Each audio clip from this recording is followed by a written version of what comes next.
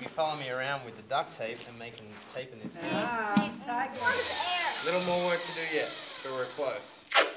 What we've done so far, if I turn it on now, right, it makes that shape. So we're going to put little holes here, and then that air will come out and like make, will come in here and then float out underneath. So you'll be on a cushion of air with air coming out the sides to make it frictionless. All right, let's go and try. Yeah, you'll be like,